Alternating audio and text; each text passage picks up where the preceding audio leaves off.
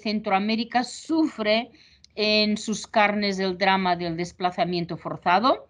Hay cifras que son incontestables, más de medio millón de solicitantes de asilo y refugiados de esta región a finales del año 19, casi 100.000 nicaragüenses solicitando asilo en Costa Rica y más de 300.000 desplazados y desplazadas internas en Honduras y en El Salvador.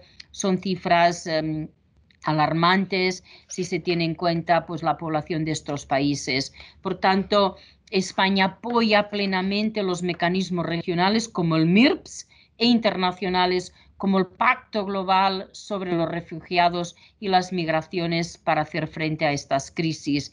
Y esta plataforma busca apoyar los esfuerzos de los países MIRPS para ofrecer protección y soluciones para los desplazamientos por la violencia en Centroamérica y México y para movilizar el apoyo de otros actores internacionales, nacionales, ya sean públicos o privados.